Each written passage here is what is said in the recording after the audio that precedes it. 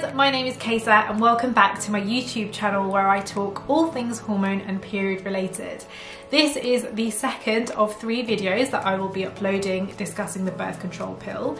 If you have not already seen my first video, The Truth About the Pill Part 1, then I suggest you do so now because it covers all the basics that will come into use when watching this video today. So I finished my last video by telling you that there is research out there that suggests that the pill can influence women's love and sex related brain circuitry indicating that the pill might be able to influence the type of romantic partner that women are attracted to. And so today, I wanted to delve into this further with you guys and share with you what is, in my opinion, some pretty groundbreaking research. Before we dive in, I just wanted to say that a lot of the ideas and the research that I discuss in this video has been extracted from this amazing book, How the Pill Changes Everything, Your Brain on Birth Control by Dr. Sarah Hill. She is a evolutionary social psychologist.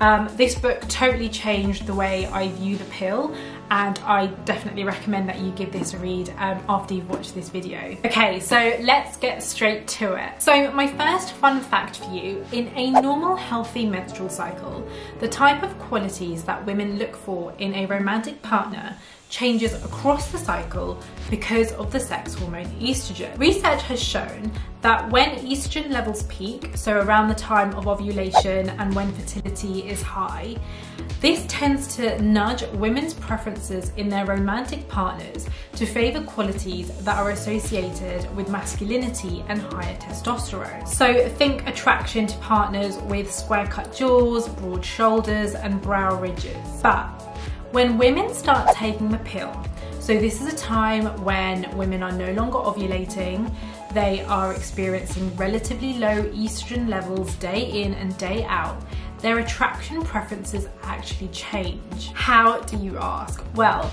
let me tell you about a study that Dr. Sarah actually references in her book to back this claim up. So, researchers brought heterosexual women into a research lab and allowed them to use a special computer program where they were able to manipulate the appearance of photographs of male and female faces. They could change the appearance of the men in these photographs by adjusting things like their jaw height, their cheekbone prominence, their face width, all those sort of testosterone markers that I mentioned earlier on. And one of the things that the researchers asked the women to do was to manipulate the features on the male face to create the face of their ideal short-term or long-term romantic partner. And the women came into the lab and they completed this task at two different time points.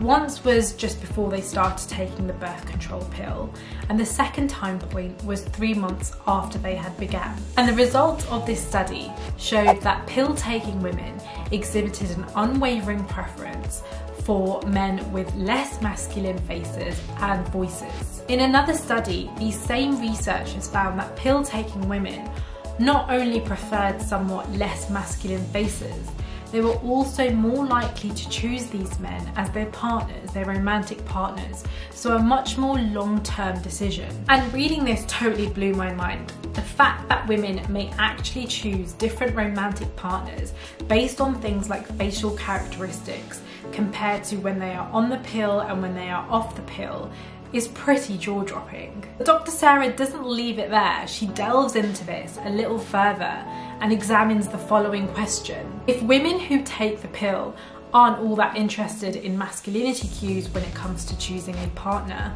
what exactly is it that they're interested in when it comes to choosing a romantic partner? Well, it appears that women on the pill are more interested in their partner's capability to provide and care for them. So another study worth referencing at this point, researchers conducted a survey looking at relationship quality on a sample of more than 2,000 women, each of whom had at least one child. Half the women in the sample were on the pill when they met their partners and the other half were not. The results showed that the women who chose their partners when they were on the pill were more satisfied with their partner's financial provisioning ability and their intelligence compared to the women who chose their partners when they were not on the pill. Now, given that the pill is supposed to mimic the second half of the menstrual cycle, so when progesterone is high and when women are biologically preparing for a potentially fertilized egg and pregnancy, then this data is consistent with the interpretation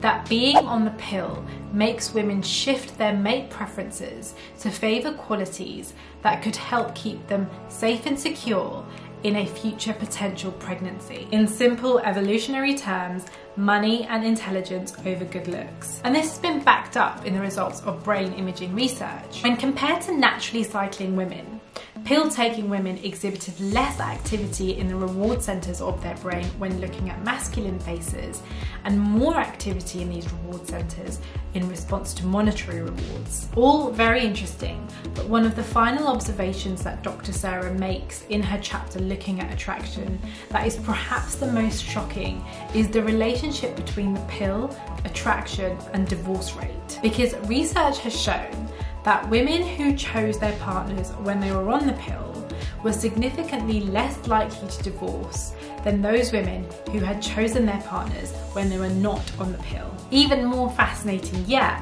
is that when these pill taking women did get divorced, they were overwhelmingly the ones who initiated it. Now, this is all pretty provocative stuff, especially that last point I just made about divorce. And I just wanted to quickly echo assertions that all scientists make when publishing research, and that is all results are open to interpretation. And secondly, and Dr. Sarah makes this point herself in her book, is that the research looking into the brain on birth control is still in its early phases. And we still need lots more research before scientists can definitively state or claim that the pill has a notable influence on attraction. But even though there is so much more research to be done in this space, there is data out there that suggests that the pill can influence the type of person that a woman is attracted to.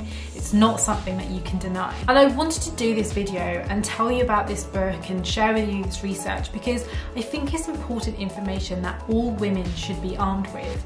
You know, whether you're thinking about starting the pill or whether you're already on it. What I've shared with you might not make a difference to your decision and thoughts about about the pill. But at least you know that you are making the decision to start taking a drug or continuing to take a drug, often for several years, with your eyes completely open because there is no doubt we become different people when we are on the birth control pill. So that's it for today. In my next video, I'll be talking about how the birth control pill affects stress and I'll be sharing with you research that shows that women who take the pill do not have the cortisol spike in response to stress that every other healthy human does. And if you want to know more, please subscribe to my channel right now and you'll be the first to know when this next video has been uploaded. In the meantime, I hope you've enjoyed this video. Please give it a thumbs up if you've liked it and let me know what you think in the comments below. I'll see you next time.